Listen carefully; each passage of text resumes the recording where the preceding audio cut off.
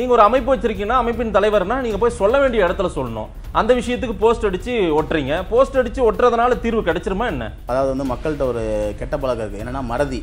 அதாவது ரெண்டாயிரத்தி பதிமூணில் நடந்தது ரெண்டாயிரத்தி பதினாலில் மறந்துடுவாங்க பதினாலில் நடந்தது பதினஞ்சில் மறந்துடுவாங்க இன்றைக்கி சுனாமி வந்ததே மறந்த மாதிரி இப்போ நிறையா விஷயங்களை மறந்துக்கிட்டே இருக்காங்க. எல்லாருமே பாதிக்கப்படுறாங்கல்ல. பிரச்சனை நடக்கக்கூடிய விஷயங்கள் குறிப்பிட்டு நாடார் சமூகத்துக்கு மட்டும் நடக்கிற மாதிரி நீங்க ஹைலைட் பண்றீங்க. தொடர்ந்து இது போன்ற சாதிய படு பண் படுகொலைகள் நடக்கக்கூடாது. அது எந்த சமுதாயத்துக்கு இது மாதிரி குறி வச்சு தாக்குறதுனால என்ன? அதனால அவங்க ஒரு பயம். ஒரு அதாவது வந்து இது அதாவது வந்து ஒரு அச்சத்தை ஏற்படுத்துறது. நாடார்கள் வந்து அரசியல்ல வந்து விழிப்புணர்வு பெற்றுவாங்க. மேலே வந்துட்டு இருக்காங்க. அப்போ வந்து அவங்கள ஒரு அடக்கி ஒடுக்கி வைக்கணும்னு சொல்லிட்டு ஒரு மாற்று சமுதாயத்தை ஒரு அச்சத்தை உருவாக்கி வழக்கு நாட்டுல நடக்கும்ல. வழக்கு நடக்கிறதுக்கான தீர்ப்பை நாம தீர்மானிக்க முடியுமா நீதிமன்றம் தான் இல்ல. ஆறு வருஷமா ஒரு வழக்கு நடந்துட்டு இருக்கு. ரெண்டாயிரத்தி பதிமூணுல இருந்து ஸ்டார்ட் ஆகுது. இன்னைக்கு வந்து ரெண்டாயிரத்தி இருபது. ஏழு வருஷமா இது போன்ற தொடர் படுகொலையை அந்த சம்பவத்தை அந்த அஞ்சு கிலோமீட்டர் சரௌண்டிங் நடந்துட்டு இருக்கு. திருநெல்வேலி மாவட்டம் அப்ப காவல்துறை தூங்குகிறதா? குறிப்பிட்ட உங்களுடைய நாடார் சமூகத்தில் நாங்க அதை வந்து ஒரு பிற்படுத்தப்பட்ட சமூகத்திலிருந்து ஒரு குழந்தை பாதிக்கப்பட்டிருக்கு. உங்களோட பார்வை நாங்க நாடாரை பத்தி பேசுறது மட்டும் உங்க கண்ணுக்கு தெரியுது. நீங்க முகநூலை பாருங்க எல்லாத்தையும் பாருங்க. அந்த சிறுமிக்காகவும் நாங்க நியாயம் கேட்டு பேசியிருக்கோம். ஒரு- ஒருவன் பண்ற தவறால இல்ல ஒரு சமுதாயம் பண்ற தவறால இல்ல ஒரு சமுதாயத்தில் உள்ள சில இளைஞர்கள் பண்ற தவறால ஒரு மாவட்டமே வந்து இன்னைக்கு கொலைக்களமா இருக்கு. திருநெல்வேலி மாவட்டமே இன்னைக்கு கொலைக்களமா மாறிக்கிட்டு இருக்கு. ஆயிரத்தி தொள்ளாயிரத்தி எழுபத்தி ஒருல நடந்த ஒரு சம்பவத்தை பத்தி அவர் பேசுறாரு. பேசுனத. துக்ளக் ஆசிரியர் வந்து துணிச்சலா எழுதினாருன்றாரு. ஆமா. நாங்க அதை தான் சொல்றோம். அந்த மாதிரி துணிச்சலோட இன்னைக்கு ரஜினி அந்த விஷயத்தை வெளியே கொண்டு வரும்போது நாங்க ரஜினியை வந்து பாராட்டுறோம். ஏன்னா வந்து போற போக்குல எல்லாம் திட்டிட்டு தான் போறான். நீங்க ஒருத்தரா தைரியமா இருந்து எடுத்து சொல்றீங்களே. நன்றி. எங்களுடைய கட்சியில எண்பது சதவீத இந்துக்கள் இருக்காங்க திரு ஸ்டாலின் சொல்றாரு. அதனாலதான் அவர் இந்துக்களை திட்டுறாரு. எண்பது என் பெரும்பான்மை என்கிட்ட இருக்குப்பா. கோட் பண்றாரு சார் கோட் பண்றாரு. அதுதான் கோட் பண்றாரு. என்கிட்ட எண்பது பெர்சென்ட் இருக்கான் நான் திட்டினா கூட ஒன்றும் சொல்ல மாட்டான்.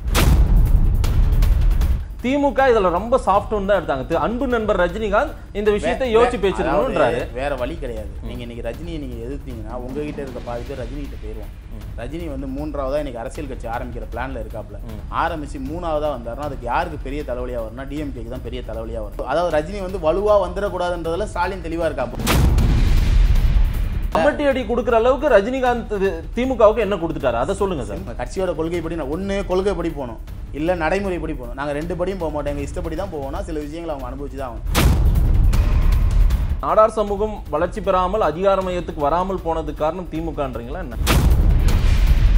வந்து வெல் தாட் அவுட் ஸ்ட்ராட்டஜி பிரச்சனையை வந்து விலக்கி சொல்லிருந்து விரோதி வன்முறையை திட்டமிட்டு நடக்கும் வெளிப்படையாகவே தெரியல பல்வேறு துறைகளில் ஆக சிறந்த ஆளுமைகளை சந்தித்து நாம் நேர்காணல் எடுத்து வருகிறோம். ஆதன் தமிழ் நேயர்களுக்கு வணக்கம். அரசியல் மேடை நிகழ்ச்சியில் மீண்டும் உங்களை சந்திப்பதில் மிக்க மகிழ்ச்சி. பல்வேறு துறைகளில் ஆக சிறந்த ஆளுமைகளை சந்தித்து நாம் நேர்காணல் எடுத்து வருகிறோம். அந்த வகையில் இன்றைக்கு நாம் பார்க்க இருப்பவர் நாடார் மகாஜன சபையின் தலைவர் திரு கே எஸ் எம் கார்த்திகேயன் நம்மிடையே இருக்கிறார். அவரிடம் கேட்பதற்கு நிறைய இருக்கின்றன. வாருங்கள் அவரிடமே கேட்போம். வணக்கம் திரு கார்த்திகேயன் சார். வணக்கம். எப்படி இருக்கீங்க? நல்லா இருக்கேன். நலமா இருக்கேன். சமீப காலமாகவே உங்களுடைய எதிர்வினைகளை வந்து போஸ்ட் அடிச்சு ஒட்டிடுறீங்க சிட்டி ஃபுல்லா முதல்ல ரெண்டு விஷயத்துக்கான போஸ்டர் இப்போ நான் ரீசெண்டாக ஒரு பத்து பதினைந்து நாட்களாகவே நிறைய போஸ்டர்கள் நீங்கள் உங்களுடைய படம் போட்ட போஸ்டர்கள் சென்னையில் ஒரு சில பகுதிகளில் பார்த்தேன். முக்கியமாக ரெண்டு பிரச்சனையும் நீங்கள் கொண்டு வந்தீங்க. திருநெல்வேலி மாவட்டத்தில் வந்து கொலைக்களமாக மாறிட்டு இருக்குது. நிறைய பிரச்சனைகள் அதில் நாடார் சமூகத்தின் மக்கள் நிறைய பேர் பாதிக்கப்படுறாங்க. பிரச்சனையை சிலர் உண்டாக்குகிறார்கள். இதை அரசு உடனடியாக இதை பரிசீலனை பண்ணணும்னு. இதை போஸ்ட் அடித்து ஒட்டுறதுனால உங்களால் என்ன செய்ய முடியும்? போய் சரியான நபர் போய் அரசின் சார்பில் இருக்கக்கூடியவங்களை போய் அவங்க கிட்ட போய் உங்களுடைய குறைகளையோ பிரச்சனைகளையோ அங்கே சொன்னால் நிவர்த்தி ஆகும். நீங்கள் வந்து ஒரு நாடார் மகாஜன சபைன்னு ஒரு அமைப்போட தலைவர். நீங்கள் ஒரு அமைப்பு வச்சிருக்கீங்கன்னா அமைப்பின் தலைவர்னா நீங்கள் போய் சொல்ல வேண்டிய இடத்துல சொல்லணும். அந்த விஷயத்துக்கு போஸ்ட் அடித்து ஒட்டுறீங்க. போஸ்ட் அடிச்சு ஒட்டுறதுனால தீர்வு கிடைச்சிருமா என்ன? அதாவது வந்து மக்கள்கிட்ட ஒரு கெட்ட பழக்கம் இருக்குது என்னென்னா மறதி. அதாவது ரெண்டாயிரத்தி பதிமூணில் நடந்தது ரெண்டாயிரத்தி பதினாலில் மறந்துடுவாங்க. பதினாலில் நடந்தது பதினஞ்சில் மறந்துடுவாங்க. இன்றைக்கி சுனாமி வந்ததே மறந்த மாதிரி. இப்போ நிறைய விஷயங்களை மறந்துக்கிட்டே இருக்காங்க. இது உதாரணத்துக்கு சொல்ல போனால் ஒரு சின்ன விஷயம் என்னென்னா ரெண்டாயிரத்தி பதிமூணில் ராஜவல்லிபுரம்ன்ற கிராமத்தில் சுடலைமணி நாடார்ன்றவர் வந்து முப்பத்தொம்போது வயசு கொல்லப்படுறாரு. அவருக்கு அவர் வந்து இறந்துடுறாரு. ஒரு சாதிய மோதல் அதாவது வேற ஒரு மாற்று சாதியினால கொல்லப்படுறாரு. இன்னைக்கு வரைக்கும் அந்த கேஸில் கேஸ் போட்டு எஃப்ஐஆர் போட்டு ஃபைல் ஆகிருக்குது ஆனால் அந்த குற்றத்தில் ஈடுபட்டவங்களுக்கு இன்னுமே தண்டனை ஆகலை அவருக்கு ஒரு ஆண் குழந்தையும் ஒரு பெண் குழந்தையும் இருக்குது அவங்க வந்து இன்றைக்கி தெருவில் நிற்கிறாங்க அரசுக்கிட்ட இருந்து எந்த ஒரு நிவாரணமும் கிடைக்காம இன்றைக்கி வந்து தெருவில் நிற்கிறாங்க அடுத்தபடியாக இரண்டாயிரத்தி பதினெட்டில் தங்கப்பெருமாள் ஆறுமுக நாடார். கொலைவெறி தாக்குதலில் வெட்டி போட்டு போயிட்டாங்க. இன்றைக்கி ரெண்டு பேருமே கை கால் இழந்து போய் கிடக்குறாங்க. அவங்களுக்கும் அதே மாதிரி தான். பார்த்துக்கிறதுக்கே ஆள் இல்லாமல் மிகுந்த ரொம்ப சிரமத்தில் இருக்காங்க. அதுக்கடுத்து ரெண்டாயிரத்தி பத்தொம்போதில் பால்துறைன்னு சொல்லிட்டு ஒரு சிறுவன். அதாவது அவங்க பாட்டி வீட்டுக்கு விருந்துக்கு வந்திருக்கான் பொங்கலுக்கு. வந்த இடத்துல அந்த பையன் வந்து ஒரு நாடார் சம்மந்தப்பட்ட பாடலை கேட்டதாகவும் மது போதையில் இருந்த மாற்று சமுதாயத்தை சேர்ந்தவங்க வந்து அவனை வெட்டி கொட்டு போட்டு போயிட்டாங்க அந்த ஊரை சேர்ந்தவன். இப்போ போன வாரம் மாசான முத்து நாடார். எப்படி? ஒன்றுமே இல்லை. சாப்பிட்டுக்கிட்டு இருந்த தன் கணவரை ஒரு நண்பர் வந்து கூட்டு போனதா தன் அவங்க மனைவி வந்து சொல்லியிருக்காங்க. தொடர்ந்து கலெக்டர் ஆஃபீஸில் கம்ப்ளைண்ட் கொடுத்துருக்காங்க. பல விஷயங்களை வந்து தொடர்ந்து முன்னெடுத்திருக்காங்க. ஆனால் வந்து மூன்று நாளைக்கு முன்னாடி தான் என்ன பண்ணியிருக்காங்கன்னா அவர் இறந்த அவரோட சடலத்தை வந்து மீட்டு எடுத்திருக்காங்க. இன்னைக்கு குற்றவாளிகள் பத்து பேர் சரண்டர் ஆகிட்டதா சொல்கிறாங்க ஆனால் தொடர்ந்து பார்த்தீங்கன்னா கிட்டத்தட்ட இந்த நாலு ஐந்து வருடங்களில் ஒரு ஏழு எட்டு சம்பவங்கள் இந்த மாதிரி அந்த ஐந்து கிலோமீட்டர் சுற்று வட்டாரத்த கிராமத்துக்குள்ளே நடக்குது. தொடர்ந்து திருநெல்வேலி மாவட்டத்தில் நடக்குது. இல்ல திருநெல்வேலி மாவட்டத்துல நடக்கக்கூடிய சம்பவங்கள் எல்லாருமே நாடார் சமூகத்து மக்கள் மட்டும்தான் பாதிக்கப்படுறாங்கன்னு நீங்க எழுதுறீங்க. அப்படி பார்த்தா பிரச்சனைகள் எல்லாருக்குமே வரும் இல்ல எல்லாருக்குமே இருக்குங்க இல்லைங்க பிரச்சனை? உங்களுக்கு மட்டும் உங்க பிரச்சனையை நீங்க வந்து லிஸ்ட் போட்டு சொல்றீங்க கடந்த ஐந்து வருடத்துல. இல்ல. அது மாதிரி எல்லாருமே பாதிக்கப்படுறாங்கல்ல? பிரச்சனை நடக்கக்கூடிய விஷயங்கள் குறிப்பிட்டு நாடார் சமூகத்துக்கு மட்டும் நடக்கிற மாதிரி நீங்க ஹைலைட் பண்றீங்க. தொடர்ந்து இது போன்ற சாதிய படு படுகொலைகள் நடக்கக்கூடாது. அது எந்த சமுதாயத்துக்கு மட்டும். இப்போ என்னோட சமுதாயத்தில் உள்ளதை நான் பின் பாயிண்ட் சொல்கிறேன் நான் வந்து என்ன சொல்றேன்னா இது போன்ற சாதிய பண் கொலைகள் நடக்கிறதுக்கு அரசாங்கம் எந்த ஒரு நடவடிக்கை எடுக்கல. இந்த கொலைகளில் ஈடுபட்ட யாருக்குமே இது வரைக்கும் தண்டனை கிடைக்கவில்லை. தண்டனை கிடைக்காதனால அனைவரும் சுதந்திரமாக சுத்துறாங்க. மேலும் மேலும் வந்து கொலைகள் நடந்துகிட்டு இருக்குது. நல்லா வந்து நீங்கள் இதில் புரிஞ்சுக்கணும். இதில் இந்த கொலை பண்ண யாருக்கும் இது வரைக்கும் தண்டனை கிடைக்கல. எல்லாருமே ஜாமீனில் வெளியே சுற்றிக்கிட்டு இருக்காங்க. சரி. அப்போ சுத்தும் போது மக்களுக்கு என்ன ஆகுனா ஒரு அச்சம் ஏற்படுது. இவர்களை மாதிரி ஆளுங்க வந்து இது மாதிரி சுத்த சுதந்திரமா சுத்த விடும்போது காவல்துறை என்ன பண்ணுதுன்னு சொல்லி காவல்துறை நோக்கி ஒரு கேள்வி வருது. அரசாங்கத்து மேல ஒரு நம்பிக்கைத்தன்மை இழக்கிறாங்க. அப்போ வந்து ஒரு மக்கள் அந்த அந்த அந்த ஏரியாவில் இருக்க மக்களே வந்து ராத்திரி நடமாடுறதுக்கு மிகுந்த அச்சத்தோட இருக்கிறாங்க. இதுல நல்லா கேட்டிங்கன்னா இப்போ இறந்தவரோட இறந்தவருக்கு வந்து ஒரு வயசுக்கு மூணு வயசுல குழந்தை இருக்கு. அந்த பெண்மணியோட நிலைமையை ஏஜ் நினைச்சு பாருங்க. ரொம்ப பரிதாபமா இருக்கு. சரி. அப்போ அவங்களுக்கு வந்து நாளைக்கு என்ன மறுவாழ்வு இந்த அரசாங்கம் கொடுக்கும்? இல்ல அந்த அந்த எதிர்முனை தாக்குதல்கள் வந்து இரு இரு சமூகத்தினர் கூட தாக்குதல்னு வச்சுக்கலாம் இதை. இரு சமூகத்தினருக்குமான மோதல் தாக்குதலா மாறுதுன்னா பிரச்சனை எங்க இருந்து முளைச்சிருக்கு அதை பார்க்கணும். பிளஸ் வந்து கோர்ட்டுக்கு போகும்போது கேஸா பதிவாயிருக்குது. அப்படின்னா நீங்க அங்கதான் முறையிடணும். இல்ல இல்ல கோர்ட் கேஸ்ல எந்த ஒரு பயனும் இல்லைன்றதுனால தான் இது போல நாங்க பொது வெளியில பேச வேண்டிய பொது வருது. பேசினால் என்ன? அதனால என்ன பேசினா? அவேர்னஸ் வரும். இப்போ நாங்க என்ன நினைக்கிறோம்? அடுத்த கட்டமா கவர்னருக்கு இது சம்பந்தமா ஒரு ரெண்டு கடிதம் எழுத கவர்னருக்கு வந்து கடிதம் எழுத போறோம். இந்திய சட்டத்துறை அமைச்சருக்கும் தமிழக சட்டத்துறை அமைச்சர்கள் இதை வந்து கவனத்துல கொண்டு போக போறோம். இது மூலம் இத்தனை கேஸுகள் இருக்கு. இது மேல எந்த நடவடிக்கையும் இல்லாம அனைத்தும் கிடப்பில் கிடைக்கிறது. ஏன்னா இதை வந்து நாங்க வெளியே கொண்டு வரணும். ஏன்னா வந்து இந்த ஒரு கொலைக்காக நாங்க பேசல. இதுக்கு முன்னாடி நடந்த கொலைகளை சம்பந்தப்பட்டு நான் பேசுறோம். பேசி இத்தனை கொலைக்கு எந்த தண்டனையும் இது வரைக்கும் பெறல. தண்டனை பெறாத காரணத்தினால அனைவரும் சுதந்திரமா சுத்துறாங்க. இது எங்க சாதியில் நடக்குது? இது போன்ற மற்ற சமுதாயத்தில் உள்ள இளைஞர்களும் கொல்லப்பட்டிருக்காங்க. அப்போ வந்து நீங்க இந்த கேஸுகளை வந்து கொஞ்சம் கவனமா ஹேண்டில் பண்ணணும். என்ன அந்த ஏரியால மக்களுக்கு பாதுகாப்பு விடணும் போலீஸ் ரோந்து அதிகப்படுத்துங்க. தொடர்ந்து இந்த கொலைகள் அனைத்தையுமே ஜனவரி மாதத்தில் நடந்திருக்கு. இதனுடைய உள்நோக்கம் என்னன்னு நீங்க கண்டுபிடிங்க. அப்படின்றது நாங்கள் இப்போ அரசாங்கத்துக்கு வந்து த ஒரு லாயர்கிட்ட பேசியிருக்கோம். தொடர்ந்து இந்த அத்தனை கேஸில் உள்ள எஃப்ஐஆரையும் எடுத்து தொடர்ந்து அந்த அத்தனை கேஸையும் நாங்கள் இது பண்ண போகிறோம் சரி எதனால இந்த மோதல்கள்லாம் அங்க நடக்கிறது மட்டும் நீங்க பாக்குறீங்க? இல்ல இது வந்து எங்களை எங்களை பொறுத்தளவுக்கு ஒரு சாதிய மோட்டிவ்ல நடந்துகிட்டு இருக்கு. அதை வந்து தடுக்கணும் அரசாங்கம். தொடர்ந்து படுகொலை செய்யப்படுபவர்கள் வந்து நாடார்களா இருக்காங்க. வெட்டி வெட்டப்பட்டவங்க நாடார்களா இருக்காங்க. அப்போ வந்து அந்த என்னன்றது வந்து தடுக்கப்படணும். தடுக்கப்பட்டு மேலும் நாடார் சமூகத்தை மட்டும் குறி வச்சு ஆமா தாக்குறாங்களா கண்டிப்பா. இப்ப நான் சொன்ன அத்தனை பேருமே நாடார்கள். இதுல வந்து மூணு பேருக்கு வந்து குழந்தை இருக்குது. இல்ல அது மாதிரி குறி வச்சு தாக்குறதுனால என்ன? அதனால அவங்க ஒரு பயம். ஒரு அதாவது வந்து இது அதாவது வந்து ஒரு அச்சத்தை ஏற்படுத்துறது. நாடார்கள் வந்து அரசியல்ல வந்து விழிப்புணர்வு பெற்றுவாங்க. மேல வந்துட்டு இருக்காங்க. அப்போ வந்து அவங்கள ஒரு அடக்கி ஒடுக்கி வைக்கணும்னு சொல்லிட்டு ஒரு மாற்று சமுதாயத்தை ஒரு அச்சத்தை உருவாக்கி அவங்க வந்து மேல் மேலும் மேலும் வெளியே வரக்கூடாது அப்படின்ற ஒரு பயத்தை உருவாக்குறதுக்காக நடக்கிற செயல் தான் இது அதையும் மீறி வர வர என்ன ஆகுதுன்னா வருஷம் வருஷம் நீங்க ஒருத்தரை கொலை பண்ணிக்கிட்டே இருந்தீங்கன்னா வீட்டுல இருக்க அப்பா அம்மா என்ன பண்ணுவாங்க? ஒரு பயம் வரும். இல்ல அதிகார மையத்துக்கு இதை தெரியப்படுத்திருக்கலாம் அது- நீங்க? அதாவது எஃப்ஐஆர் ஆகி கோர்ட்டையும் நம்ப மாட்டீங்க கேஸ் கொடுத்தாலும் போலீஸையும் நம்ப இல்ல இல்ல மாட்டீங்க. இல்ல. அதிகார நாங்க எல்லாரையும் அங்கதானே நம்பி போறோம். இருக்கோம் நாங்க போலீஸ் ஸ்டேஷன்ல கேஸ் கொடுத்திருக்கோம். கோர்ட்ல கேஸ் நடந்து இது வரைக்கும் தண்டனை ஆகவில்லை.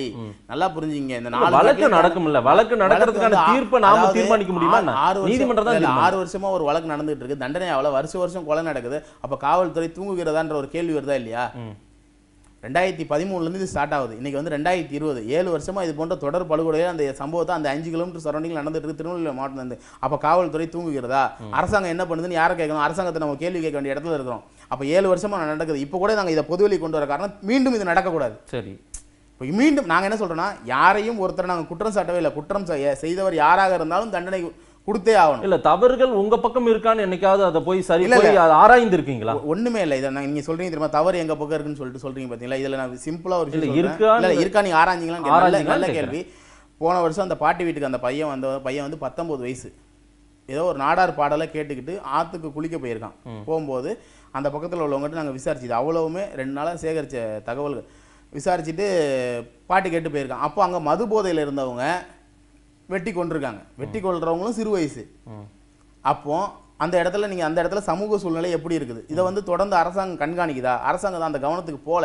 இன்னைக்கு நாங்க வந்து இது எதனால நடக்குதுன்னு நினைக்கிறீங்களா திரு கார்த்திகேயன்? இதனால் நடக்கு அதாவது சாதியை நீங்க தூக்கி பிடிக்கிறீங்க. உங்களோட உங்களுடைய அடுத்த கட்ட தலைமுறைக்கும் அதை வளர்த்து எடுக்கிறதுனால வந்து வர்ற வினையா அதுதான் சொல்றேன்ல சாதியை நாங்க தூக்கி பிடிக்கிறதுக்கும் மாற்று சமுதாயத்தினர் வந்து எங்களை வெட்டுறதுக்கும் இதுல வந்து சம்மந்தம் கிடையாது. குடி போதை அங்க. நல்லா கேட்டேன். குடி போதையில இருந்து பத்தொன்பது வயசு பையன் சமூகத்தை ஒட்டியான ஒரு பாடலை கேட்டுட்டு போறாரு. தவறு இருக்கு அதுல? நான் என்ன கேட்கறேன் அதுல என்ன தவறு இருக்கு?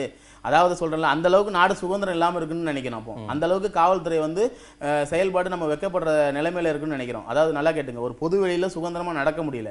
அந்த அளவுக்கு வந்து இன்னைக்கு அந்த மாவட்டம் வந்து பயங்கர பிரச்சனையில இருக்கு. அன்னைக்கு நல்லா கேட்டுங்க இரு அந்த இளைஞர் வெட்டி கொல்லப்பட்ட இளைஞரை எடுக்கிறாங்க. அந்த கிராம மக்கள் அவ்வளவு பேரும் வந்து நின்னு இது பண்றாங்க. அ- போலீஸ்காரங்க வந்து அந்த கேஸை எடுத்துட்டு அன்னைக்கு நிலைமைக்கு எப்படி அதை விட்டுட்டு எஸ்கேப் ஆயிடலான்றது தான் பார்க்குறாங்க. தொடர்ந்து தொடர்ந்து அதை ட்ரேஸ் பண்ணி அந்த அந்த குற்றவாளிக்கு வந்து தண்டனை வாங்கி கொடுக்கணும். அடுத்த குற்றம் நடக்காம எப்படி தடுக்கிறது அந்த கிராமத்துல? அதை அந்த பொதுமக்கள்கிட்ட கலந்து பேசுறது எதுவுமே கிடையாது. இப்போ நான் சென்னையில் இருக்கேன். இது திருநெல்வேலியில் நடந்திருக்கு. இப்போ நாங்கள் வந்து இத்தனை விஷயம் ஏன் இது தொடர்ந்து நடக்குதுன்னு சொல்லி நாங்கள் இவ்வளோ பண்ணுறோம் அப்போ கா- அரசாங்கம் எவ்வளோ பண்ணலாம்? ஒரு சாதாரண ஒரு தமிழ்நாடு தமிழ்நாடு அமைதி பூங்காவா இருக்குன்னு அரசாங்கம் சொல்லுது. ஆனா கொலைக்களமாகும் திருநெல்வேலி நீங்க போஸ்ட் எழுதுறீங்க சமூக வலைதளங்கள்ல பரப்புறீங்க எல்லா இடங்கள்லயும் பேசுறீங்க. அந்த வேறு சில ஊடகங்கள்லாம் நீங்க பேசுனதெல்லாம் நான் பார்த்தேன். வேறு சில ஊடகங்களில் கூட நாங்கள் என்ன சொல்றோம்னா மீண்டும் இது போன்ற கொலை சம்பவங்களை நடக்காமல் தமிழக அரசு வந்து உரிய நடவடிக்கை எடுக்கணும். அது மட்டும் இல்லாமல் இப்போ அந்த இறந்த அந்த கணவரை இறந்த பெண்ணுக்கு வந்து அரசு வந்து அரசு வேலை வழங்க வேண்டும். உரிய நிவாரணம் வழங்கணும். அதாவது வந்து இன்னைக்கு வந்து ஏற்கனவே அடிப்பட்ட அந்த ஆறுமுகமாக இருக்கட்டும் இல்லைன்னா அந்த மணிநடர் குடும்பம் எல்லாம் எல்லாம் பார்த்தீங்கன்னா தெருவில் இருக்காங்க. ஒரு குடும்ப தலைவனை இழந்துட்டு அந்த குடும்பத்தில் உள்ளவங்க தெருவில் இருக்காங்க. அதாவது வந்து ஒருத்தன் பணம் சம்பாதிக்கிற ஒரு மனுஷன் அந்த குடும்பத்துக்காக உழைக்கும் ஒரு மனிதரை இழந்துடுறாங்க. அப்போ அந்த குடும்பத்தோட நிலை என்ன வருது? ஒரு எத்தனை பேர் இப்போ சமுதாயத்தில் இது மாதிரி எத்தனை குடும்பங்கள் பாதிக்கப்பட்டிருக்கு தெரியுமா? நான் சொல்றது ஜஸ்ட் ஒரு மூணு ஊர் ரெண்டு ஒரு மாவட்டத்தில் மட்டும் நடந்த சிகல் சில நிகழ்வுகளை தான் சொல்றேனே தவிர்த்து. பெரிய பெரிய விஷயங்களை நான் வந்து இது சொல்ல இந்த வந்து தொடர் படுகொலை இது ஜனவரி மாசத்துல நடக்கிறத மட்டும் நாங்கள் லிஸ்ட் அவுட் பண்ணி நாங்கள் சொல்லியிருக்கோம் இந்த விஷயத்துல. தவறு எந்த பக்கம் இருந்தாலும் தவறு எந்த நான் அதை தான் சொல்கிறேன்ல தவறு யார் செய்ததுனாலும் தவறு. நல்லா கேட்டுங்களேன் இந்த மணிநாடார்ன்றவர் டீ கடை வச்சிருந்தவர். அந்த பால்துறைன்ற பையன் வந்து ஜஸ்ட்டு பாட்டி வீட்டுக்கு வந்த பையன் பத்தொம்போது வயது இளைஞர். மாசானமூர்த்தி இப்போ இறந்து போன ப மாசானமூர்த்தி வந்து பார்த்தீங்கன்னா வந்து சாப்பிட்டுக்கிட்டு இருந்த அந்த இளைஞரை வந்து அவர் நண்பர் வந்து கூட்டு போயிருக்காரு. நோ மோட்டிவ் மோட்டிவே கிடையாது. இவங்க மோட்டிவே இல்லாம மூணு நாள் வச்சிருந்து சொல்றேன். அதுக்கப்புறம் அது வந்து எங்களை கொடுக்கு இது அதான் அதை-? வந்து காவல்துறை கண்டுபிடிக்கணும். எதனால தொடர்ந்து ஜனவரியிலே இந்த கொலைகள் நடக்குது?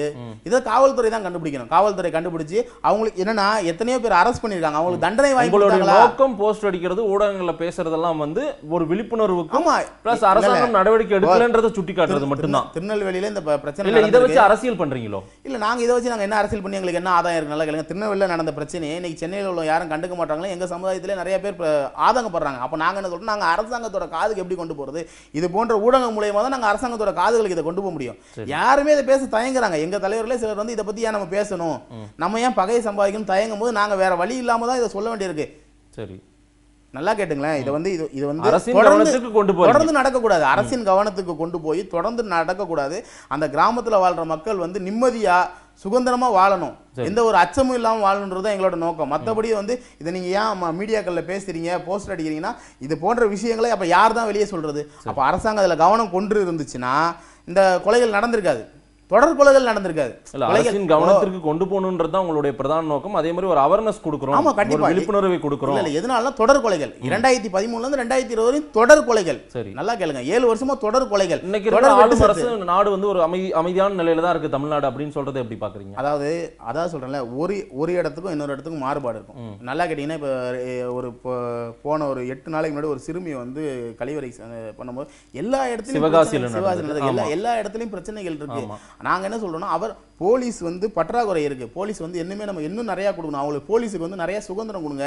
அவங்களை இன்னும் க- கட்சிக்கு பார்க்கறதுக்குள்ள இணைக்காதீங்க. இப்போ ஒண்ணுமே இல்லை. அந்த கோயம்புத்தூர் மேட்டில் பார்த்தீங்கன்னா சரியான சட்டத்திட்ட போடாம ஆஹ், அனைவரும் வெளியே வந்துட்டாங்க. குண்டாசில். அப்ப இல்ல போலீஸ் வந்து சிறுமி விஷயத்தை கூட நீங்க இத இந்த பட்டியலிலேயே கொண்டு வந்திருந்தீங்கன்னா நல்லா இருந்திருக்கணும். ஆனா நீங்க வந்து குறிப்பிட்ட உங்களுடைய நாடார் சமூகத்தில் நடக்கக்கூடிய நாங்க அதை பத்தியும் தானே பேசுறோம். அது வந்து ஒரு பிற்படுத்தப்பட்ட சமூகத்திலிருந்து ஒரு குழந்தை பாதிக்கப்பட்டிருக்கு. உங்களோட பார்வை நாங்க நாடாரை பத்தி பேசுறது மட்டும் உங்க கண்ணுக்கு தெரியுது. நீங்க முகநூல பாருங்க. எல்லாத்தையும் நியாயத்தையும் பாருங்க. அந்த சிறுமிக்காகவும் நாங்க நியாயம் கேட்டு பேசியிருக்கோம். எங்க அமைப்பை சேர்ந்த ஒரு மாநில இளைஞரணி செயலாளர் பிஎம்பி துரை என்ற தம்பி பேசியிருக்காப்புல. அந்த சிறுமிக்கு ஆதரவா நேற்று ஒரு சேனல்ல எல்லாமே நாங்க பண்ணிக்கிட்டு தான் இருக்கிறோம். என்ன ஒரு விஷயம் அப்படின்னு நல்லா கேட்டிங்கன்னா நான் என்னை பற்றி என்னை பற்றி நினைக்கிறாங்க? நாடார் நாடார் சமுதாயத்துக்காக பேசுறவர் தான் கார்த்திகேயன். நாங்க எல்லா சமுதாயத்திற்காகவும் பேசுறோம். அந்த சிறுமிக்காகவும் பேசியிருக்கோம். எல்லாருக்காகவும் பேசிட்டு தான் இருக்கோம். என்னன்னா அமைதி பூங்காவா இருக்குன்னு சொல்றாங்க. ஆனா எந்த அளவுக்கு பாதுகாப்பு இருக்கு? ம். இப்போ ஒண்ணுமே இல்ல. அந்த கோயம்புத்தூர் மேட்டர்ல எல்லாரும் வெளியே வந்துட்டாங்க. இப்போ அந்த என்ன பண்ணிக்கிட்டு இருக்காங்கன்னு சொல்லுங்க. என்ன தண்டனை கிடைச்சது? பொள்ளாச்சி விவகாரத்துல. என்ன என்ன என்ன தண்டனை கிடைச்சது? ஒரு விஷயத்துக்கு ஒரு நீ உடனடியா ஒரு தண்டனை கிடைக்காத கிடைக்காத பட்சத்தில் அவன் அடுத்த தவறு செய்யறான். சரி. என்ன ஆகுதுன்னா இப்போ இந்த கொலை மேட்டர்லாம் நான் ஏழு வருஷமா இதனால வெளியே சுதந்திரமா திட்டம் தண்டனை கிடையாது. ரெண்டாயிரத்தி பதிமூணுல பார்க்குறான் ஏ போனாம்பா நாற்பத்தோரு நாள்ல பெயில் எடுத்தாங்க நம்ம வெளியே வந்துட்டோம். அப்போ ரெண்டாயிரத்தி பதினாலில் கொலை பண்றான் பதினஞ்சுல கொலை பண்றான் பெயிலில் வந்துடும் அவனுக்கு தண்டனை இல்லை. தண்டனை கிடைக்கல அப்படின்னா அவன் தொடர் கொலைகளில் இடம் இறங்குறான். அப்போ அந்த மா அந்த ஒரு ஒருவன் பண்ற தவறால இல்லை ஒரு சமுதாயம் பண்ற தவறால உள்ள ஒரு சமுதாயத்தில் உள்ள சில இளைஞர்கள் பண்ற தவறால ஒரு மாவட்டமே வந்து இன்னைக்கு கொலைக்களமா இருக்கு. திருநெல்வேலி மாவட்டமே இன்னைக்கு கொலைக்களமா மாறிக்கிட்டு இருக்கு. அரசின் நடவடிக்கை ரொம்ப கடுமையா இருக்கணும்ன்றீங்க. ஆமா சாஃப்ட் கார்னர் பார்க்கணும் அதாவது வந்து ஜாதி அரசியல் வந்து நாங்க பண்றோம்னு சொல்றீங்க. ஜாதி அரசியலை வந்து அரசாங்கம் பண்ற காரணத்தினால தான் சில இடத்துல சாஃப்ட் கார்னர் காட்டுறாங்க. அந்த. ஆமா சாஃப்ட் கார்னர் காட்டுறதுனால தானே குற்றவாளிகள் வெளியே தப்பிக்கிறாங்க. நீங்க அரசு வந்து குறவழியை பிடிச்சி நெறிங்க நெறிங்க குற்றவாளிகளை. குற்றவாளிகள் குறவழியை பிடிச்சி நீங்க நெறிங்க ஏன் சாஃப்ட் கார்னர் காட்டுறீங்க குற்றவாளிகளுக்கு? சாஃப்ட் கார்னர் காட்டுறதுனால தானே கொலைகாரங்க வெளியே ஜாதி அரசியல் நாங்க பண்ணல அரசு பண்றாங்க. அரசு பண்றாங்க. ஆட்சியாளர்கள் ஆட்சியாளர்கள் பண்றாங்க. அரசியல்வாதிங்க பண்றாங்க கண்டிப்பா நிதர்சனமான உண்மை. அரசியல்வாதிகள் வந்து எந்த ஒரு இந்த மாதிரி கொலை சம்பந்தப்பட்ட எந்த ஒரு விஷயத்துக்கும் ஆதரவு கொடுக்காம குறை விலையை நெரிக்கணுன்றது தான் எங்களோட கோரிக்கை. இன்னைக்கு எங்க எங்க சமுதாயத்தை சேர்ந்தவர்கள் மட்டும் பத்து பேர் இது மாதிரி பாதிக்கப்பட்டிருக்காங்க. மாற்று சமுதாயத்தில் எத்தனை பேர் இருப்பாங்க? வேற இப்ப நீங்க சொல்ற மாதிரி அந்த சாதி பெண் கற்பழிச்சு கொலை செய்யப்பட்டிருக்கலாம். இப்ப அந்த சமுதாயத்தோட நிலைமை. எந்த இடத்துலையுமே இது போன்ற சம்பவங்களுக்கு கடுமையான தண்டனைகள் வேண்டும். கடுமையான தண்டனை மட்டும்தான் மனுஷனுக்கு ஒரு பயத்தை உருவாக்கும். பயம் இருந்தா மட்டும்தான் தவறு செய்ய மாட்டான். நீங்க வந்து தண்டனையை கொடுக்காம ஒரு கேஸுக்கு நீங்க பத்து வருஷம் இழுத்துட்டு போனீங்கன்னா அவன் அடுத்த தவறை செய்வான். ஈஸியா அந்த பத்து வருஷத்துக்குள்ள இன்னும் பத்து தவறு செஞ்சிருவான். சரி. நீங்க அதுக்கப்புறம் அவனை என்கவுண்டர் பண்ணாலும் ஒன்றும் பிரச்சனை இல்லை. அவனுக்கு தண்டனை கொடுத்து ஒன்றும் பிரச்சனை இல்லை. ஏன்னா அவன் மூலியமா நூறு குடும்பம் சீரழிஞ்சு போச்சு. ஒருவனால தவறு செய்யும் அந்த ஒருவனை உடனே உடனே கண்டறிஞ்சா அவனுக்கு உடனே விரைவில் தண்டனை கொடுக்கணும். அந்த மாதிரி ஒரு சட்டத்தை வந்து அரசாங்கம் ஏற்றணும். முக்கியமான ஒரு கேள்வி சார் திரு ரஜினிகாந்தை வாழ்த்தி போஸ்ட் அடிச்சிருக்கீங்க சிட்டி ஃபுல்லார இன்னொரு விஷயம். போஸ்ட் அடிக்கிற கல்ச்சரை நீங்க ரொம்ப பெருமளவு தூக்கி பிடிக்கிறீங்க. துக்ளக் விழாவில் திரு ரஜினிகாந்த் அவர்கள் பேசிய பேச்சு மிகப்பெரிய சர்ச்சையாச்சு. அவர் ஆனா அந்த நேரத்துல ரஜினிகாந்த் பேசியது சரி அப்படின்ற மாதிரி வாழ்த்து போஸ்ட் அடிக்கிறீங்க. நாடார் மகாஜன சபையும் நாடார் மக்களும் ரஜினியுடைய அரசியலுக்கு ஆதரவு கொடுக்குறீங்களா எப்படி? நாங்க எங்க அமைப்பு சார்பா சார்பா நாங்க அடைச்சிருக்கோம். நாங்க ஒட்டுமொத்த நாடார்களுக்கும் சார்பா நம்ம அதை சொல்றது தவறா இருக்கும். நாங்க எங்க அமைப்பு சார்பா நாடார் மகாஜன சபை சார்பா அவருக்கு வாழ்த்து தெரிவிச்சு போஸ்ட் அடிச்சிருக்கோம். சரி சிம்பிள் மேட்டர் வாழ்த்து தெரிவிக்கிற அளவுக்கு ரஜினி என்ன பேசிட்டாரு? சிம்பிளா சொல்றேனே. அதாவது வந்து இந்துக்களை வந்து போற போக்குல யாருனாலும் எதுவும் சொல்லிட்டு போயிடலாம். அப்படின்னு இன்னைக்கு இருக்கிற காலகட்டம் இருக்கு. இன்னைக்கு தீகா தலைவர்கள்லாம் பாத்தீங்கன்னு வச்சுக்கோங்களேன் ஒரு இந்து கோயில் முன்னாடி நின்று ஒரு அசால்ட்டா ஒரு பிரச்சாரம் பண்ணிட்டு போயிட்டே இருப்பாங்க. ஒரு ஐயப்பன் கோயில் முன்னாடி ஒரு பத்து வருஷத்துக்கு முன்னாடி அஹ், பத்து வருஷத்துக்கு முன்னாடி? இப்ப கூட இப்ப கூட பண்ணிட்டு இருக்காங்க. இப்ப கூட நீங்க ஒண்ணுமே இல்ல. பெரியார் திராவிட கழகத்துல உள்ளவங்க பேசுற பேச்சை பாத்தீங்கன்னு வச்சுக்கோங்களேன் தோசைக்கெல்லாம் கூட பேர் வைப்பாங்க. தோசைக்கெல்லாம் கூட பேர் வைப்பாங்க. நான் என்ன சொல்றேன்னா ஒரு கிறிஸ்டின் ஒரு கிறிஸ்டின் சர்ச்சு முன்னாடியோ ஒரு இல்ல மசூதி முன்னாடியோ அந்த மாதிரி நின்று அசால்ட்டா பேச முடியாது. ஒண்ணுமே இல்லை. எஸ்ஐ வில்சன் ஒருத்தர் இறந்தார். இவங்களாம் அன்னைக்கு வந்து வாயை திறக்கல. அதாவது இந்துக்களுக்கு ஒரு பிரச்சனை. அதாவது முஸ்லீம் ஆள கொல்லப்பட்டார் எஸ்ஐ வில்சன். அன்னைக்கு வந்து வாயை திறக்கல. அதாவது வந்து அதாவது இந்துக்களுக்கு ஒரு பிரச்சனைகள் வரும்போது அரசின் துரித நடவடிக்கையில தான் வேலையே நடந்துட்டு இருக்கு இல்ல, திராவிட கட்சி தான் ஆட்சி செஞ்சுட்டு இருக்காங்க அதாவது சொல்றேன்ல திராவிட கட்சி. ஏடிஎம்கேக்கும் டிஎம்கேக்கும் நிறைய வித்தியாசம் இருக்குது. ஓ ஏடிஎம்கே நீங்க திராவிட கட்சியாவே இல்ல பாக்கலையோ ஏடிஎம்கே திராவிட திராவிட கொள்கையில இருந்தா கூட ஆனா வந்து இந்த மாதிரி விஷயங்களை வந்து மறுத்து பேச மாட்டாங்க. இல்ல புரட்சி தலைவி ஜெயலலிதா இருந்த காலகட்டத்தில இருந்தே பேச மாட்டாங்க. அவங்க வந்து நீங்க யாரை அக்யூஸ் பண்றீங்க? அதை சொல்லுங்க. இல்ல பொதுவாக வந்து நாங்க வந்து டிஎம்கேவும் திகா அந்த மாதிரி கட்சிகளை விடுதலை. டிஎம்கே திகா விடுதலை சிறுத்தைகள் ஏன்னா வந்து சில நாட்களுக்கு முன்னா விடுதலை சிறுத்தைகள் தலைவர் சொல்லியிருந்தார். மசூதிகளை பார்க்கும்போது எங்களுக்கு எப்படி இருக்குது? சர்ச்சுகளை பார்க்கும்போது இருக்குது. கோயில்களில் மட்டும்தான் ஆபாசமான சிலைகள் இருக்கு. அதாவது வந்து அவர் அந்த மாதிரி அதாவது என்னன்னா ஓட்டு அரசியலுக்காக இவங்க வந்து போற போக்குல பேசிக்கிட்டே போற காலகட்டத்தில் சரி. எதிர்ப்பு வந்தாலும் பரவாயில்ல. அவர் ஒரு சூப்பர் ஸ்டார். இன்னைக்கு பேச வேண்டியதில்ல அவர் அரசியலுக்கு வரல. எந்த ஒரு உள்நோக்கமும் எங்களுக்கு தெரிஞ்சு கிடையாது. இல்லாத காலகட்டத்துல இந்துக்களை வந்து இப்படிலாம் பேசாதீங்க. இப்படி வந்து தவறு. அப்படின்னு அவர் சொல்லும்போது நாங்க இல்ல வந்து இல்ல, இல்ல, இந்துக்களை இப்படி பேசாதீங்க? தவறுன்னு இல்ல. ஆயிரத்தி தொள்ளாயிரத்தி எழுவத்தி ஒருல நடந்த ஒரு சம்பவத்தை பத்தி அவர் பேசுறாரு. பேசுனத. துக்ளக் ஆசிரியர் வந்து துணிச்சலா எழுதினாருன்றாரு. ஆமா. நாங்க அதை தான் சொல்றோம். அந்த மாதிரி துணிச்சலோட இன்னைக்கு ரஜினி அந்த விஷயத்தை வெளியே கொண்டு வரும்போது நாங்க ரஜினியை வந்து பாராட்டுறோம். ஏன்னா வந்து போற போக்குல எல்லாம் திட்டிட்டு தான் போறான். நீங்க ஒருத்தரா தைரியமா இருந்து எடுத்து சொல்றீங்களே நன்றி. வேற ஒண்ணுமே கிடையாது. இல்ல நீங்க அதுல. முக்கியமான ஒரு வார்த்தையை நீங்க பயன்படுத்திக்கீங்க. ராமரையும் சீதையையும் இந்து கடவுள்களையும் அவமதித்த கலங்கப்படுத்திய பெரியாரின் கடந்த கால செயல்களுக்கும் தொடர்ந்து இந்து விரோத போக்கையும் இந்து கடவுள்களை அவமதிக்கும் திமுகவிற்கும் சம்மட்டை அடி கொடுத்திருக்கும் ரஜினிக்கு நன்றின்றீங்க. ஆமா. திமுக இதுல எங்க வந்தது? இல்ல டிஃப் அதை தான் சொன்னேன்ல டி- சின்ன டிஃபரன்ஷியேட் தான். நாங்க கிறிஸ்மஸுக்கு வாழ்த்து சொல்லுவோம் திமுகல இருந்து. திராவிட கழகத்தின் சார்பாக இனிய கிறிஸ்மஸ் நல்வாழ்த்துக்கள். திமுகவின் சார்பாக இனிய ரம்ஜான் நல்வாழ்த்துக்கள் நாங்க சொல்லுவோம். ஆனா ஒரு விநாயகர் சதுர்த்திக்கோ இல்ல வரப்போற ஒரு தைப்பூசத்துக்கோ சொல்ல சொல்லுங்க பாப்போம். ஒரு திமுக அந்த கட்சியோட உரிமை அந்த கட்சி என்ன சொல்லணும் நீங்க எப்படி திமுகவோட? கொள்கை என்ன. திமுகவின் கொள்கை என்ன? அவங்க பகுத்தறிவு பின்பற்றி கிடையாது. சாதி மதம் கிடையாதுன்றது தான் திமுகவின் கொள்கை. கரெக்டா இல்லையா? நான் கரெக்டா தானே சொல்றேன். ஜாதி மதம் கிடையாது. அப்ப கிறிஸ்டின் உண்டு முஸ்லீம் உண்டு இந்து மட்டும் தான் கிடையாதா? அப்ப இந்து மட்டும் தான் சாதி. எங்களுடைய கட்சியில எண்பது சதவீத இந்துக்கள் இருக்காங்க திரு ஸ்டாலின் சொல்றாரு. அதனாலதான் அவர் இந்துக்களை திட்டுறாரு. என் பெரும்பான்மை என்கிட்ட இருக்குப்பா. கோட் பண்றாரு சார் கோட் பண்றாரு. அதுதான் கோட் பண்றாரு. என்கிட்ட எண்பது பெர்சென்ட் இருக்கான் நான் திட்டினா கூட ஒண்ணும் சொல்ல மாட்டான். என்கிட்ட எண்பது பெர்சென்ட் இந்து இருக்கான் நான் திட்டுவேன். ஒருத்தனை சொல்ல சொல்லு பாப்போம். சொல்லவே மாட்டான். ஆனா நான் வந்து உங்களுக்கு வர்ற உணர்வு சரி அவங்களுக்கு ஓட்டு போடுற அப்படி- எண்பது சதவீத அதுதான் இந்துக்களுக்கு உணர்வு வரலையான்னு வரல. அதுதானே தெளிவா சொல்றாரு. என்கிட்ட எண்பது சதவீதம் ஓட்டு இருக்குது. நான் சொல்ல மாட்டேன் வாழ்த்து. நான் ஏன் சொல்லணும்? சரி.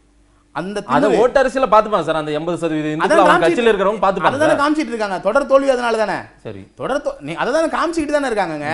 திமுக பத்து வருஷமா தொடர்ந்து அதாவது வந்து கலைஞருடைய அரசியல்ல இருந்து மாறுபட்டு நடக்கிறாங்க. ஏன்னா தொடர்ந்து பத்து வருஷம் வீழ்ச்சிக்கு தானே காரணம். நீங்க பொது வெளியில நான் என்ன சொல்றேன்னா ஒண்ணு சொல்லணும்னா யாருக்கும் சொல்லாதீங்க. சரி. உங்க அரசியல்ல தெளிவா இருங்க. உங்களுக்கு மதம் கிடையாது ஜாதி கிடையாது எதுவும் கிடையாது யாருக்கும் சொல்லாதீங்க.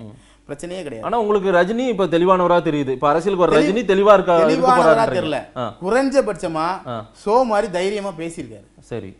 திரு ஷோ வந்து முந்தி இந்த மாதிரி விஷயங்களை தைரியமா பேசுவாப்ல அந்த மாதிரி தைரியமா பேசியிருக்காரு. அந்த விஷயம் எங்களுக்கு பிடிச்சிருக்கு. இல்ல திராவிடர் கழகத்தினர் இந்த விஷயத்தை பிரச்சனையாக்குனாங்க. அந்த பிரச்சனை வேற மாதிரி போச்சு. உருவபொம்மைகள் எல்லாம் எரிக்கப்பட்டது.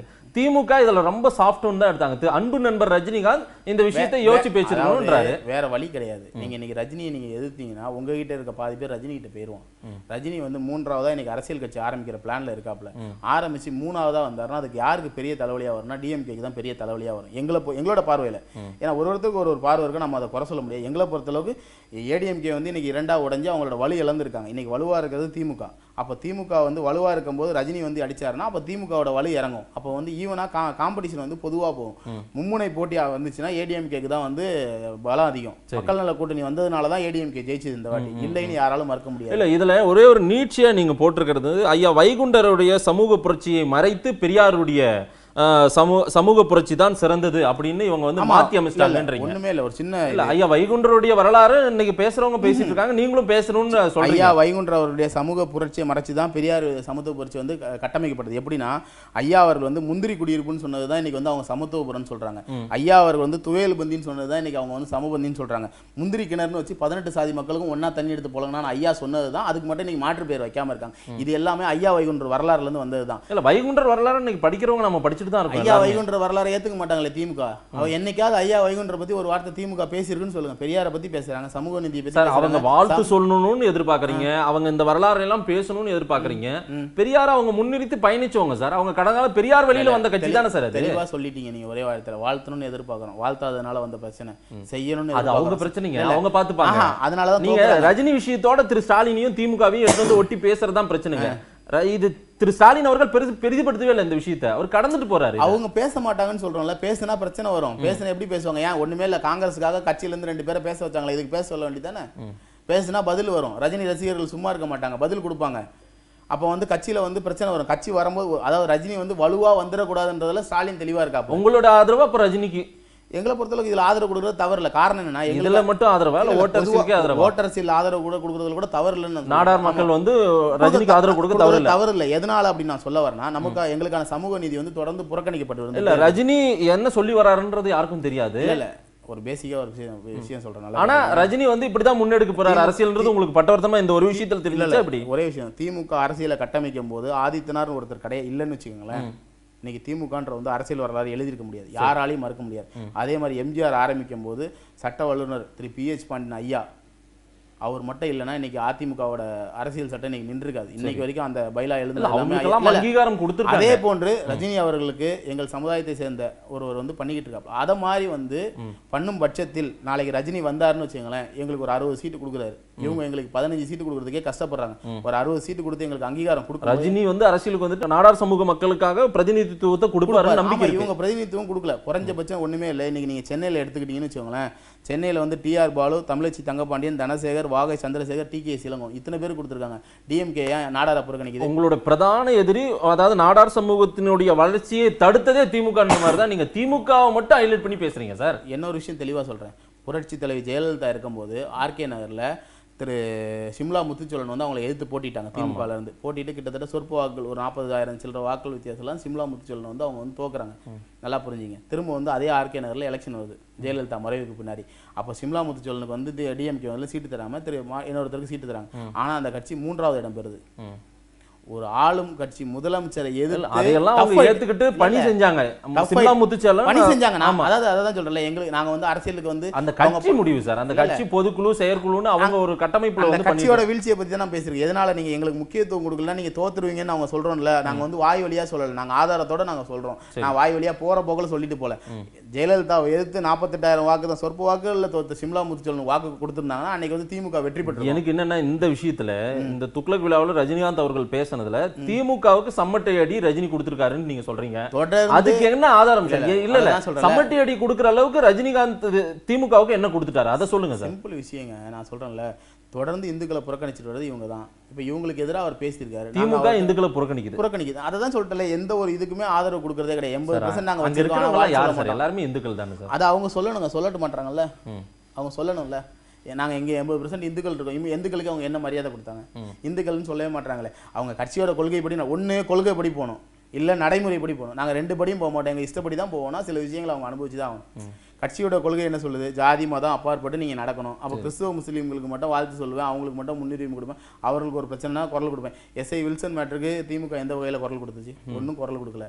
இல்ல மற்ற கட்சிகள் என்ன குரல் கொடுத்துச்சு ஒன்றும் குரல் கொடுக்கல. இந்த அந்த கூட்டணியில கட்சியில இருக்கவங்க இந்து மதத்தை பத்தி தவறா பேசும்போது அவர் பேசிய கருத்துக்கும் எங்கள் கட்சிக்கும் எந்த ஒரு சம்மந்தம் இல்லைன்னு சொன்னாங்களா? கிடையாது. சரி. அப்போ மௌனம் சம்மதம் தான் நம்ம ஏற்றுக்கொள்ள முடியும். திரு திருமாவளவன் பேசும்போது திமுகவிலிருந்து அவர் பேசிய கருத்துக்கும் எங்கள் கட்சிக்கும் சம்மந்தம் இல்லைன்னு சொல்லணும்.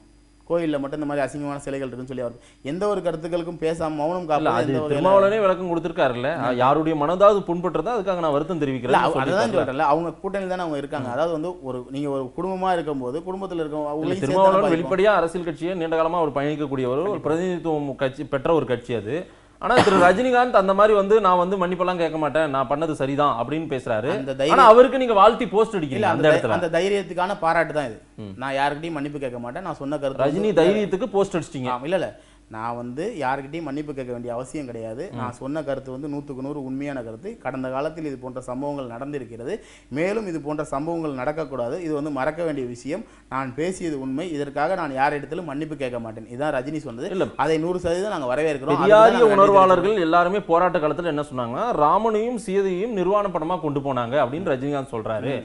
பெரியாரே கொண்டு போன மாதிரி அவர் சொல்றாரு. பெரியார் நடத்திய ஊர்வலம் தான் அது. அந்த இடத்துல நிர்வாணமா கொண்டு போலன்றது தான் பிரச்சனையா வந்து எல்லாருமே வாதிட்டது. அதாவது கி. உங்களுக்கே அந்த வரலாறு தெரிஞ்சிருக்கும். ஒரே விஷயம். கி. வீரமணி அவர்கள் சொல்லுவார் நாங்க கொண்டு போய் அதை செஞ்சதுனால தான் நூற்றி முப்பதில் ஜெயிச்ச டிஎம்கே வந்து நூற்றி எண்பதில் போய் ஜெயிச்சது.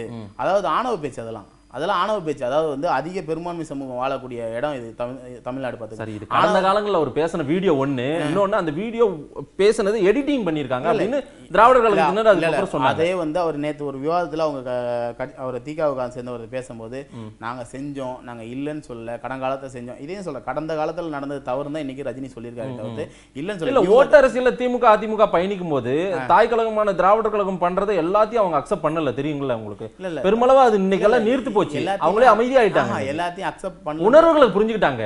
இல்ல அக்செப்ட் பண்ணலன்றது ஒண்ணு. நம்ம- அனுமதியே கொடுக்கல. இல்ல இல்ல என்ன அதாவது எழுபத்தி ஒண்ணுல இப்படி ஒரு சம்பவம் நடந்தது சேலத்துல. அதற்கு பிறகு ஆட்சியில திமுக உடனடியாக ஆட்சிக்கு வந்தது. அப்பவே தேர்தல் நடந்தது திமுக ஆட்சிக்கு வந்தது. நடந்து முடிஞ்ச அந்த பிரச்சனைக்கு பிறகு ஆறு மாசத்துக்கு பிறகு பெரியார் மீண்டும் இதே மாதிரி ஒரு இதுக்காக கேட்கிறார் ஊர்வலத்துக்கு. அப்ப கலைஞர் கருணாநிதி அனுமதி கொடுக்கல. இந்த விஷயம் உங்களுக்கு நிச்சயமா அதை கேட்டிருப்பீங்க. நான் கேட்டிருக்கேன். ஆனா அந்த இதை தான் சொல்றேன்ல. கி. வீரமணி இன்னைக்கு பேசும்போது கூட என்ன சொல்றாரு? நான் எங்களால தான் இந்த செயலை நாங்கள் செய்ததனால தான் திமுக நூத்தி எண்பது இடங்களில் வெற்றி பெற்றது. அப்போ வந்து அது ஆணவ பேச்சு.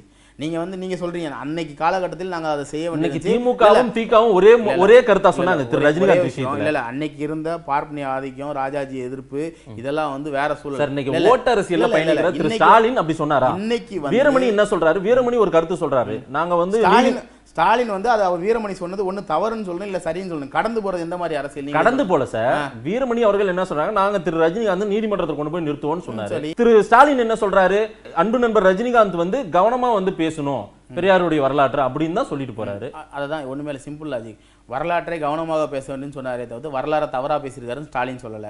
கி. வீரமணி கோர்ட்ல போய் கேஸ் போடுவோன்றிருக்காரு. கேஸ் முடிவுல என்ன ரிசல்ட்னு உங்களுக்கு தெரியும். அப்ப ஸ்டாலின் சொன்ன வார்த்தையில இருந்தே எடுத்துங்க. கவனமாக பேச வேண்டும் சொன்னாரே தவிர்த்து தவறாக பேசினார் என்று எங்கும் சொல்லவில்லை. நல்ல விஷயம் புரிஞ்சுங்க. தவறாக பேசினார் எங்கேயும் சொல்ல கவனம் தான் சொல்லியிருக்காரு. நீங்க பேசின சாரத்துல இருந்தே என்னுடைய முக்கியமான கேள்வி சார். நாடார் சமூகம் வளர்ச்சி பெறாமல் அதிகார மையத்துக்கு வராமல் போனதுக்கு காரணம் திமுகன்றீங்களா என்ன? இல்ல திமுக அப்படிங்கிற அப்படின்றது கிடையாது. பொதுவாகவே எங்களுக்கான பிரதிநிதித்துவ அடிப்படை வந்து டோட்டலாகவே குறைஞ்சிக்கிட்டே இருக்கு. அது வந்து எது எதனாலன்றது வந்து எங்களுக்கு தெரியல. பிரதிநிதித்துவ அடிப்படையில் பார்த்தீங்கன்னா கிட்டத்தட்ட நாற்பது எம்எல்ஏக்களுக்கு மேலே நாங்கள் இருந்திருக்கோம் நாடார் சமுதாயத்தில். இன்னைக்கு வந்து மக்கள் தொகை கணக்கெடுப்பில் சாதிவாரி அடிப்படையில் பார்த்தீங்கன்னா இரண்டாவது பெரும்பான்மையான சாதி நாடார் சமுதாய சாதி. அப்போ டோட்டலாக எங்களுக்கான அங்கீகாரம் குறைஞ்சிக்கிட்டே வருது. ஆனால் எங்களுக்கான பிரச்சனை இப்போ திருநெல்வேலியில் பார்த்தீங்கன்னா அதனால புதுசா வர ரஜினிகாந்த் நாடி போக போறீங்க. முடிச்சிடுறேன். திருநெல்வேலியில் வந்து பார்த்தீங்கன்னா இப்போ கொலைக்கழகம் மாறிட்டு இருக்கு. எங்களுக்கான ஒரு பிரதிநிதி அங்கே இருந்தால் அங்கேருந்து குரல் கொடுத்துருப்பாரு. இப்போ இன்னைக்கு நான் சென்னையிலேருந்து குரல் கொடுக்க வேண்டிய அவசியம் எனக்கு வந்திருக்காது. இன்னைக்கு அங்கேருந்து ஒரு குரல் கொடுக்க கூட ஒருத்தர் இல்லாத காரணத்தினால தான் நான் இங்கே சென்னையிலேருந்து நான் பேசிக்கிட்டு இருக்கேன். நல்லா புரிஞ்சுங்க. இது வந்து மூணு நாளைக்கு முன்னாடி கொடுக்கப்பட்ட ஒரு குரல் வந்து குரல் கொடுத்துருக்கணும் இன்னைக்கு அங்கேருந்து குரல் கொடுக்க எங்களுக்கான ஒரு பிரதிநிதித்துவம் இல்லாத அடிப்படையில் காரணத்தினால தான் நாங்கள் பேசிக்கிட்டு சரி. இருக்கோம் இல்லைன்னா இவங்க திராவிட கட்டுப்பாட்டுக்குள்ள அந்த திராவிட திராவிட கட்சிக்குள்ளுக்குள்ள இருந்துட்டு நம்ம இதை பேசலாமான்ற அந்த அரசியல் பயச்சு பயத்தினால பேசாம இருக்காங்களான்னு தெரியல. சரி. நாடார் சமுதாயத்துக்கு ஒரு பிரச்சனை நீங்க தைரியமா. வெளியே வந்து பேசுறீங்க. திரு ரஜினிகாந்துக்கு போஸ்ட் அடிக்கிறீங்க. அதே போல ரஜினிகாந்தை வாழ்த்தி பேசுறீங்க. ரஜினிகாந்த் பண்ணது சரின்னு சொல்வதை பார்த்தால் நீங்க வந்து ரஜினிகாந்த் எங்களுக்கான பிரதிநிதித்துவம் கொடுத்துருவாரு. அவர் அரசியலுக்கு வரப்போறாரு. அப்படின்ற நம்பிக்கையில இதெல்லாம் பேசுறீங்களோ? அ- அதாவது நிறைய சாதி சாதி மக்களுக்கு பார்த்தீங்கன்னா இன்னுமே பிரதிநிதித்துவம் கிடைக்காம தங்கள் சாதிகளுக்கான தேவைகள் நிறைய வராமல் இருக்காங்க. அனைத்து சாதியினரும் ஒன்று சேர்ந்து ரஜினிகாந்துக்கு ஆதரவு கொடுக்கும் பட்சத்தில் ஏற்கனவே ரஜினி வந்து சாதாரண ஆள் கிடையாது. இப்போ நான் ஆதரவு கொடுத்தோ இல்லை எங்கள் சம ஆதரவு கொடுத்து நான் கார்த்திகேயன் என்ற ஒரு தனி மனிதன் ஆதரவு கொடுத்து ரஜினி ஜெயிக்க போகிறது கிடையாது. ரஜினிக்குன்னு ஏற்கனவே ரசிகர் சப்போர்ட் இருக்குது தமிழகத்தில் நீங்கள் விஜயகாந்த் வரும்போது பார்த்தீங்கன்னா எட்டு பர்சன்ட் ஓட்டு வங்கி வாங்கிட்டு வந்தார். ஆனால் இன்னைக்கு கமல் வரும்போது நாலு பர்சன்ட் தான் வாங்கிட்டு வந்திருக்காரு. ஆனால் ரஜினி கிட்டத்தட்ட வரும்போது ஒரு பதினஞ்சு பர்சன்ட் ஓட்டு வங்கியோட வருவார்னு நாங்கள் நினைக்கிறோம். அப்போ அவர்கள் கூட எங்களை போன்ற சமுதாய மக்கள் இணையும் போது அவர் ந- நிச்சயமா ஒரு மெஜாரிட்டியான மேஜர் மேஜர் பாயிண்டா இருப்பார். வருகிற ரெண்டாயிரத்தி இருபத்தி அது உங்களுடைய நம்பிக்கை. இந்த விவாதத்தின் முற்பகுதியில ஒரு சில பிரச்சனைகள்லாம் நாடார் சமூகத்துல இவ்வளவு பாதிக்கப்பட்டிருக்கும். கடந்த ஏழு வருடத்துல நீங்க பட்டியல் போட்டு காட்டுனீங்க. இந்த பிரச்சனைகள்லாம் திரு ரஜினிகாந்த் பேசியிருக்கலாம்ல? இல்ல ஏதாவது குரல் கொடுத்துருக்கலாம்ல? அவர் அரசியல் அதையெல்லாம் நீங்க எதிர்பார்க்கவே இல்ல சார். ஆனா இன்னைக்கு ரஜினிகாந்த் செய்வார்ன்ற நம்பிக்கை வந்திருக்குல்ல. கடந்த காலங்கள்ல ரஜினிகாந்த் இதெல்லாம் பேசிக்கலாம்ல? ஆளும் கட்சியும் சரி ஆண்டுகிட்டு இருக்க கட்சியும் சரி ரெண்டுமே செய்யல. வரப்போறவராக செய்வாரான்னு எதிர்பார்க்கிறோம். நல்லா புரிஞ்சுங்களேன் ஆளும் கடந்த காலங்கள்ல அவர் பேசுனது ப- பேசாதத பத்தி வருத்தமே ஐம்பது? காண்ட கடந்த காலங்கள்ல. திராவிட அரசியல்ல இவங்க பேசல. ஆட்சியில இருக்கவங்களே பேசல. நல்லா புரிஞ்சுங்க. ஆட்சியில் இருக்கவங்களே பேசல. இப்போ நீங்க இப்போ கூட நம்ம நாங்க அவங்கள ஆதரிக்கிறோம். சரி இவ்வளவு எதிர்ப்பையும் மீறி ஒரு மனுஷன் தான் கொண்ட கருத்தில் ஸ்ட்ராங்கா இருக்காரு. அப்போ அவர் வந்து ஒரு சரியான தலைவரா வருவாரான்னு நாங்க எதிர்பார்க்குறோம். அதற்காக நாங்க ரஜினிக்கு பின்னாடி போறோமா போகலைன்றது வந்து அது காலம் பதில் சொல்லும். சரி. அது வந்து காலம் பதில் சொல்லும். ஆனா அவரோட ஸ்டாண்ட் இந்த மாதிரி தெளிவா இருக்கும் பட்சத்தில் நிச்சயமாக அவர் அரசியலுக்கு அவர் வந்து ஒரு பெரிய எதிர்காலம் அவருக்கு இருக்கு. பார்க்கலாம் சார். மக்கள்கிட்ட கொண்டு போய் கொடுக்குறோம். நீங்க சொன்னதை எது சரின்றதை அவங்க தீர்மானிக்க போறாங்க. மிக்க நன்றி திரு கார்த்திகேயன். நன்றி. நன்றி நேர்களே மீண்டும் ஒரு அரசியல் மேடை நிகழ்ச்சியில் சந்திப்போம். நன்றி வணக்கம்.